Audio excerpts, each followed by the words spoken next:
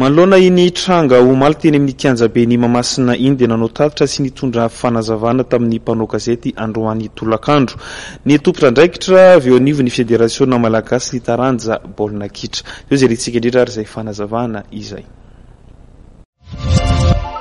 Ny volon-teny aloha dia mifandraha miory amin'ilay olona iray izay namoy ahy maty. Fitiavana baolina kitra no nahatonga an'izany. Miara-ory aminy ny isika rehetra sy ny federasiona.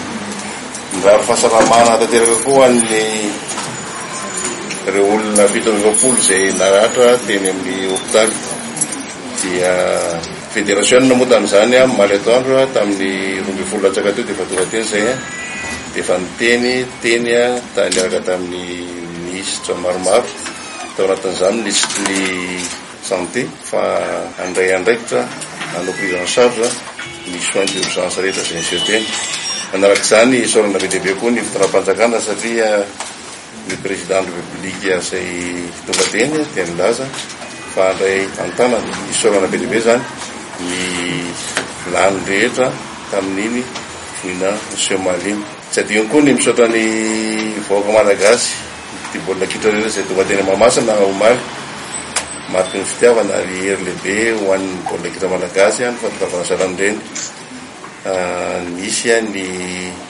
Zavatra azo heverina masina izay iarahantsika nahita ary atongavanareo marobe eto.